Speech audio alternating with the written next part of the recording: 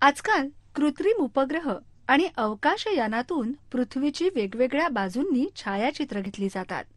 या छायाचित्रांवरून पृथ्वी गोलाकार आहे हे सहज लक्षात येतं. प्राचीन काळी अशी छायाचित्र घेणं शक्य नव्हतं. तरीही शास्त्रज्ञांनी पृथ्वीचा आकार गोल असावा असा अंदाज केला होता. आपला सभोवतालचा प्रदेश वर्तुळाकार आहे असं मानवाला सुरुवातीला वाटत होतं. तसंच जास्त उंचावरून मोठा प्रदेश दिसतो. हा अनुभव देखील तो घेत होता.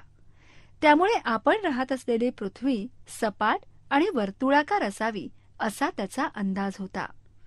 हा अंदाज आकाशात दिसणाऱ्या सूर्य आणि चंद्र यांच्या आकारावरूनही आला असावा. सूर्योदय आणि सूर्यास्ताच्या वेळी सहजगत्या दिसणारं सूर्यबिंब पौर्णिमेस दिसणारं चंद्रबिंब वर्तुळाकार दिसत होतं. शास्त्रज्ञांनी त्या काळात एक प्रयोग केला. तुम्हीही तो प्रयोग करून पहा. त्यांनी तबकडीची सावली कशी पडते याचा अभ्यास केला. आकृतीमध्ये तबकडी आणि तिची दोन वेगवेगळ्या स्थितीतील सावली दाखवलीय. अ या ठिकाणी तबकडीची सावली वर्तुळाकार दिसते परंतु ब या ठिकाणी तबकडीची कड मेणबत्ती समोर आहे. त्यामुळे पडणारी सावली ही रेषेच्या स्वरूपात दिसते. त्यानंतर त्यांनी क आणि ड या ठिकाणी दाखवल्याप्रमाणे एका संत्र्याच्या सावलीचे वेगवेगळ्या स्थितीत निरीक्षण केले.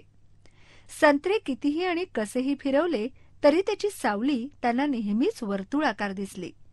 यावरून त्यांच्या लक्षात आलं की गोलाकार वस्तूची सावली नेहमीच वर्तुळाकार पडते. चंद्रग्रहणाच्या वेळी पृथ्वीची सावली चंद्रावर पडते. केव्हाही आणि कोठेही चंद्रग्रहण दिसतं तेव्हा सावली ही नेहमीच अर्ध्या किंवा चतकोर वर्तुळासारखी दिसते. यावरून शास्त्रज्ञांनी अनुमान काढलं की आपली पृथ्वी देखील गोलाकार असावी. जेव्हा मानवाने समुद्र मार्गाने प्रवास सुरू केला तेव्हा त्याला एक वेगळाच अनुभव आला. या अनुभवामुळे पृथ्वीचा आकार गोल आहे याची त्याला खात्री होत गेली. किनारा सोडल्यानंतर समुद्रात दूरवर जाताना किनाऱ्याजवळील माणसे आणि घरे प्रथम दिसेनाशी होत. तरीही गावामागचे डोंगर काही अंतरापर्यंत दिसत राहायचे. त्याचप्रमाणे किनाऱ्याकडे येतानाही प्रथम डोंगर दिसायचे आणि जसजसं किनाऱ्याजवळ जावं तसतसं घरं आणि माणसं दिसायची. पृथ्वी सपाट असती तर सर्वच भाग त्याला एकदम दिसला असता. फार तर दूरवरचा भाग लहान आणि अंधुक दिसला असता. आकृतीमध्ये किनाऱ्याकडे येणाऱ्या जहाजाचं चित्र दाखवलंय. क या ठिकाणी जहाज आहे. तरी ते निरीक्षकाला दिसणारच नाही. ख या ठिकाणी आल्यावर त्याला जहाजाचा फक्त झेंडा दिसेल.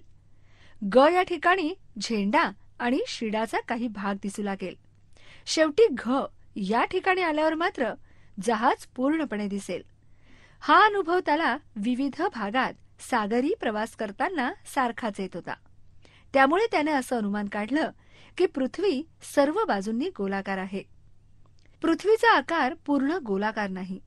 विषुववृत्ताजवळील भागात पृथ्वी थोडीशी फुगीर आहे आणि ध्रुवीय भागात ती थोडीशी चपटी आहे. पृथ्वी स्वतःभोवती फिरते. पृथ्वीच्या स्वतःभोवती फिरण्यामुळे ती विषुववृत्तीय भागात फुगीर बनली आहे त्यामानाने ध्रुवीय भागात ती किंचित चपटी आहे पृथ्वीचा विषुववृत्तीय व्यास बारा हजार सातशे छप्पन्न किलोमीटर आहे. तर ध्रुवीय व्यास बारा हजार सातशे चौदा किलोमीटर आहे.